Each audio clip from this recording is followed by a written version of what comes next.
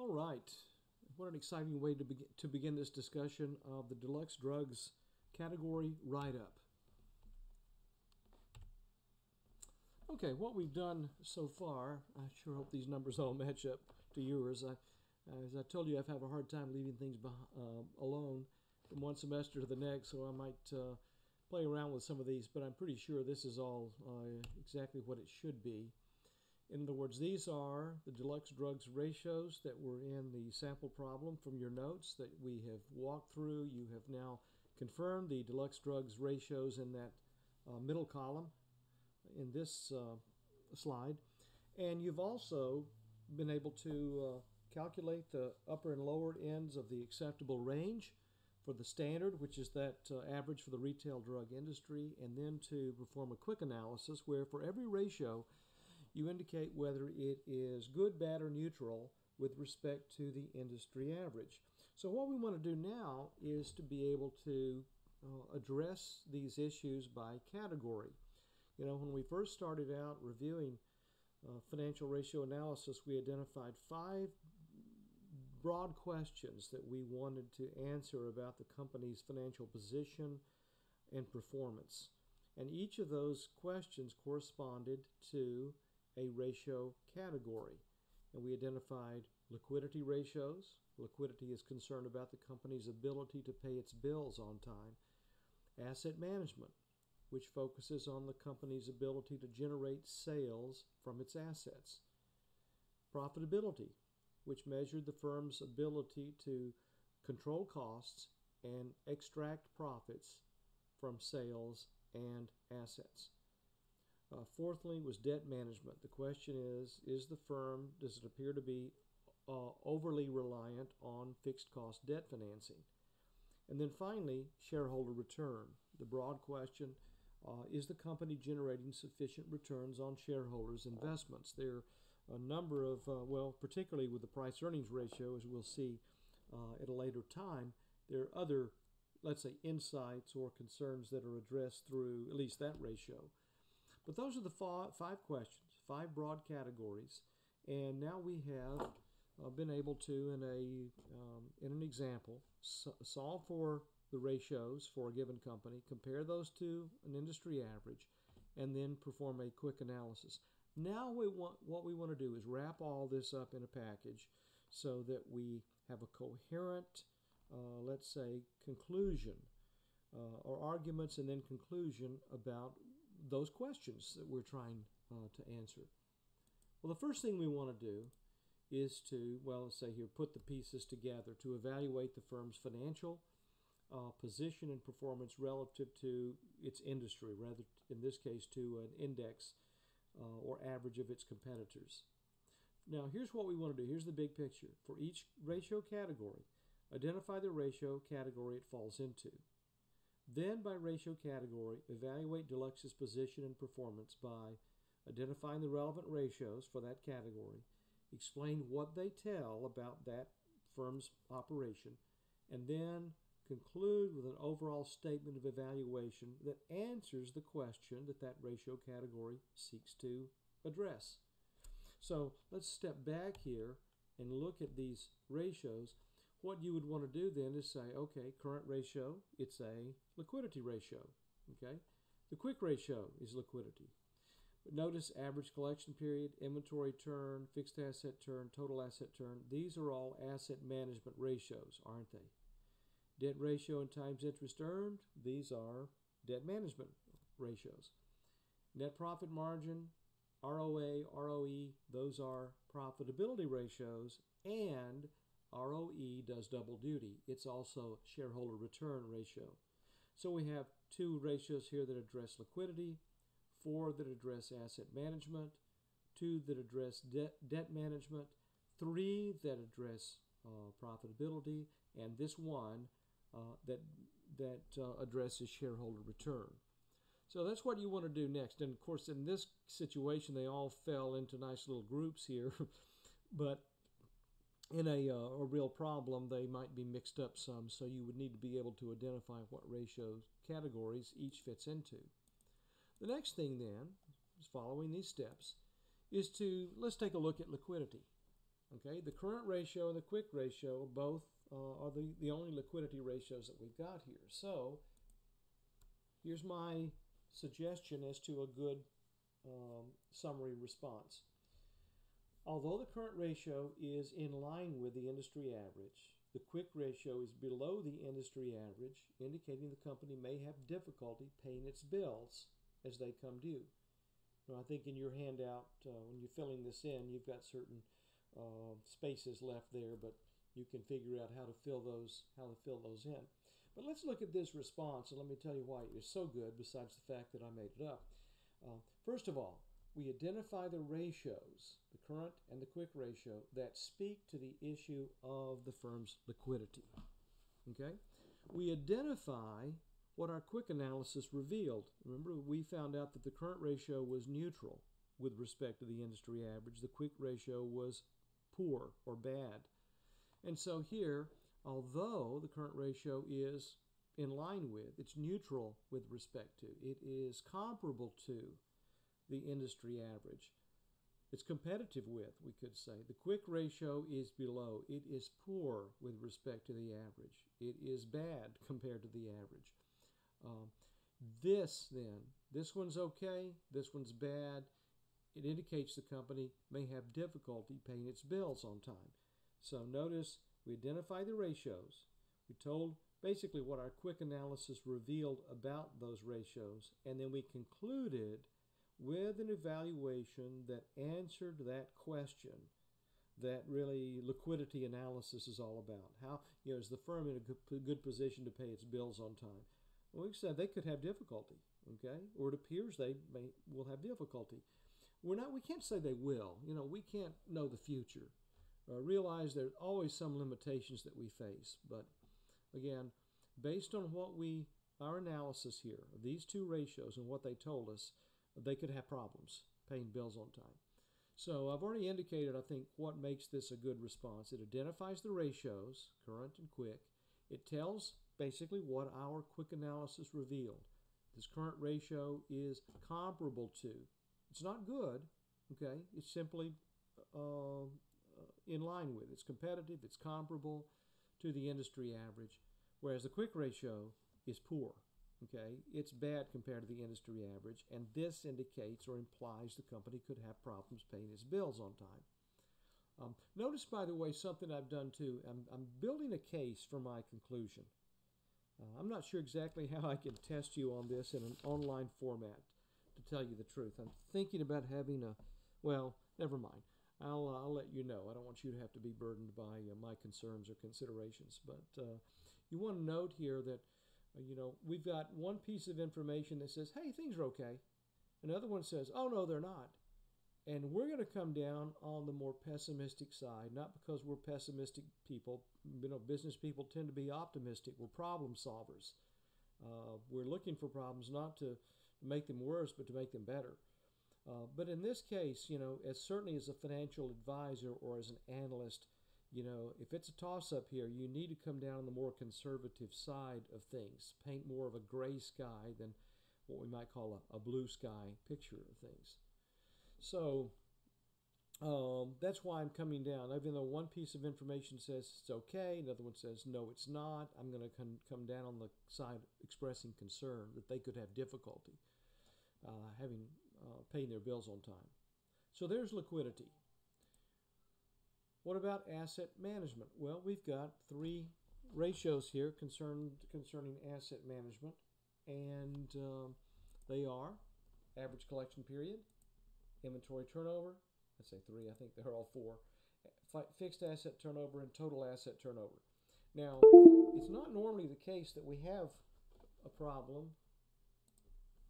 uh, as we do here, but we do have the the uh, well, not the problem. There is the issue that uh, we've got a total asset turnover, and this is sort of the composite of these. So here's what I'm telling you: regardless of what these are here, this is going to tell us our overall answer.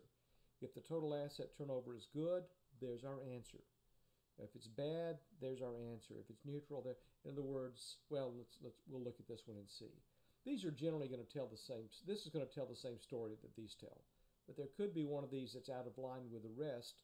Um, But again, this is going to be our overall conclusion. So an evaluation might look like this. Although the average collection period is better than the industry average, okay, I can't say, by the way, it's above or higher because it's not. Actually, lower is better, isn't it, for the average collection period. But the average collection period is superior to, it's good with respect to, or compared to the industry average.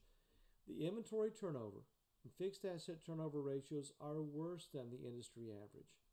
As a result, the total asset turnover is below the industry average, indicating, here's our conclusion, the company is not generating sufficient sales relative to its assets. Okay?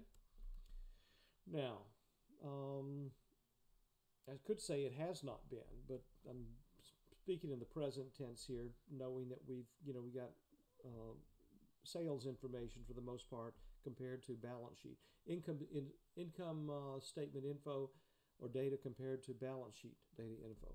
So let's make a, a, again another point about what makes this a good answer. First of all, identify each of the ratios average collection period, inventory turnover, fixed asset turnover, total asset turnover that I'm consulting.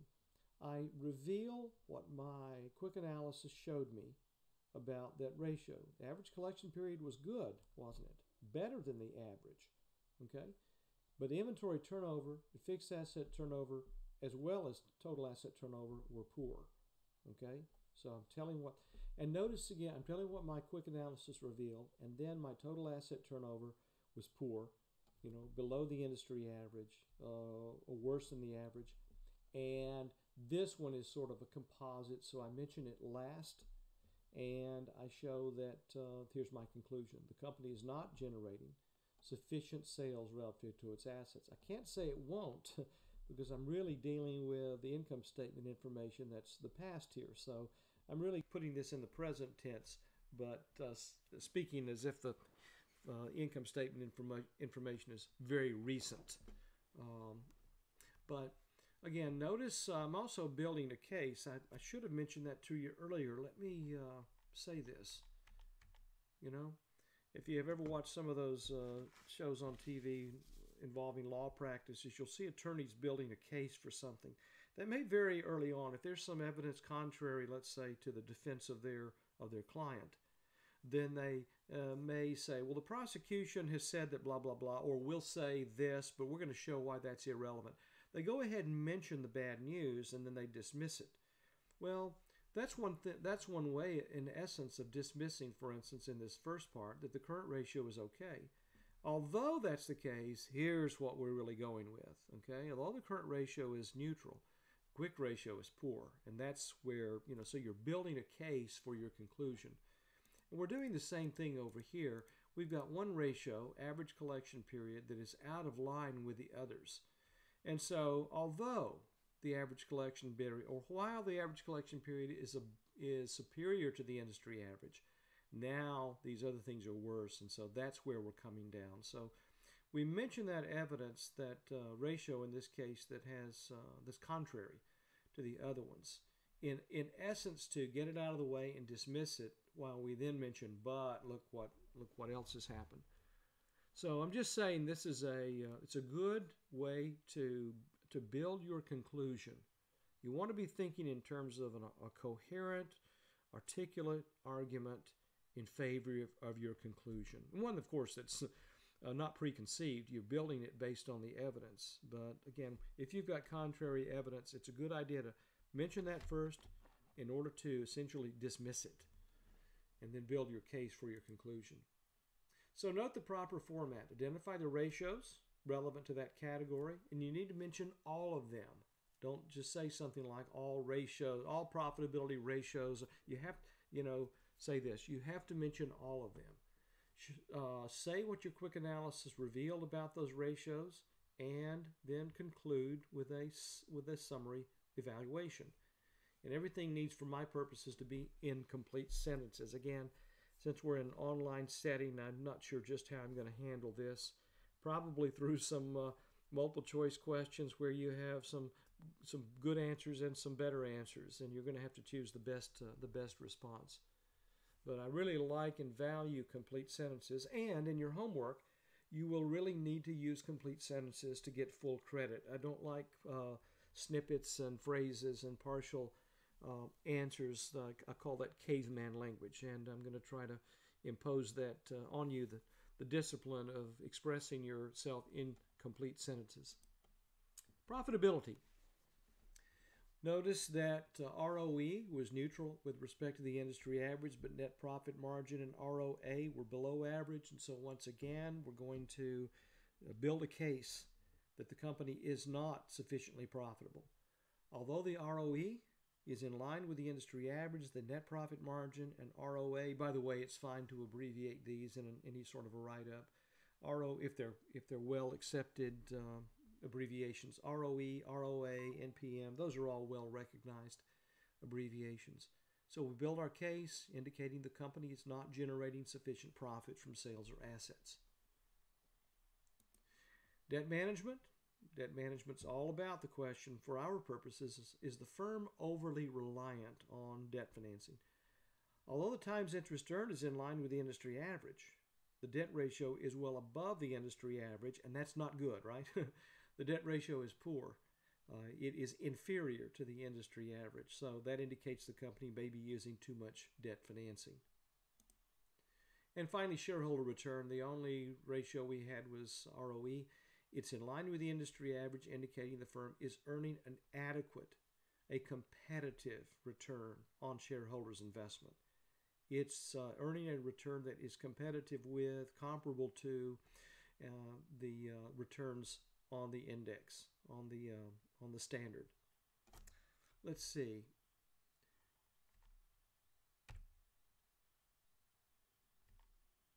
Okay, I'm not sure why I have that twice in there, but there it is. Let me mention something here too. It's I don't have a separate uh, statement of this, but hopefully you can kind of pick up on what I call the language of the language of good, the language of bad, the language of neutral. The language of good is that, let me see if I can find one here. Um, oh, there's a, the debt ratio is, no, that's not good. Uh, ROE is in line with, well, let's talk about the language of neutral because I see it here. ROE is, it is in line with, it is comparable to, it's competitive with, it's adequate um, compared to, it's neutral with respect to. That's the language of neutral. The language of good is, let me see, there was one back here. What was it? The There, the average collection period is superior to, better than. In many cases, good would be um, uh, above. But we got to be careful here because the average collection period is one of those few ratios where lower is better than higher. So we uh, might even see here, although the average collection period is below the industry average, and knowing ratios as we do, that would be that would be a positive thing to say. But the language of good is typically going to be better. Well, we could say it's better, it's superior to, um, it's exceptional compared to the industry average. It's good with respect to the industry average.